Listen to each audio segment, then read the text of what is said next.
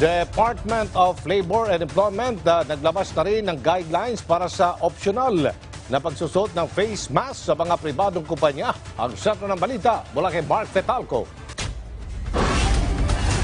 Hindi na obligado ang mga empleyado sa pribadong sektor na mag-face mask habang nasa trabaho.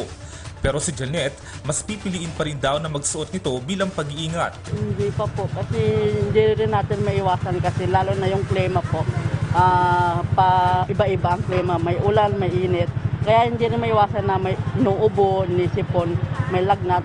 Kasi ang office kasi namin dyan, sir, close po yan. Pag yung isa may sakit, mahahawaan pa talaga lahat. Naglabas na ng guidelines ang Department of Labor and Employment para sa voluntaryong pagsusuot ng face mask sa trabaho. Saklaw ng polisiya ang lahat ng mga manggagawa at workplaces sa pribadong sektor. Ayon sa DOLE, maaari pa rin magpatupad ng polisiya ang mga employer na magre-require ng pagsusuot ng face mask sa mga empleyado. Kabilang sa maaring isaalang-alang ang kawalan ng maayos sa ventilasyon at kulob na lugar, food safety at iba pang kondisyon. Ang guidelines na nilabas ng DOLE ay kasunod ng Executive Order No. 7 ni Pangulong Ferdinand R. Marcos Jr. na nagpapahintulot sa voluntaryong pagsusuot ng face mask sa indoor at outdoor settings.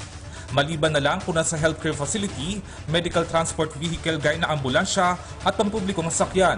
Ang iba namang empleyado, sang-ayon na gawing optional na lang ang pagsusuot ng face mask sa loob ng kanilang kumpanya. Sangayon po ako na voluntary po kasi respons- responsibility po natin yun bilang isang citizen po. Nakadepende na lang din po sa kanila kung gusto po nilang sumunod sa ah, voluntary. Pero ah, kung maaari lang din po sana, magsuot na lang po hanggang mawala po yung virus. Hinimok naman ng Labor Department na mag-face mask pa rin ang mga nakakatanda, immunocompromised, unvaccinated, may sintomas ng COVID-19, mga may comorbidity at mga buntis.